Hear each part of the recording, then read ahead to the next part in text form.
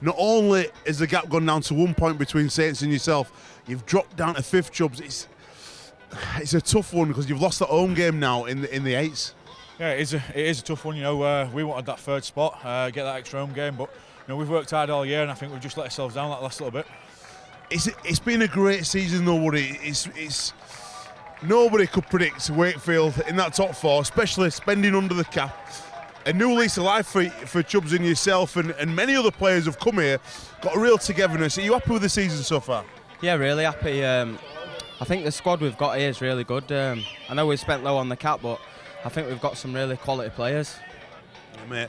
Um, some of the games I've seen this year, you guys, definitely, you know, you've, you've got it together. What do you put it down to, Chubbs? Like, is, is, it, is it a special bond between the boys? And what do you need to do now to kick on? Because obviously it's been disappointing today. What do you need to do to kick on? I think we same as what we've been doing all year. We, we stick together and we work hard together. You know, we're not, a team, uh, a flash team. You know, we just do the little things right and, and, work hard for each other. And it's got us this far, so I think we just need to maintain and, and build on it.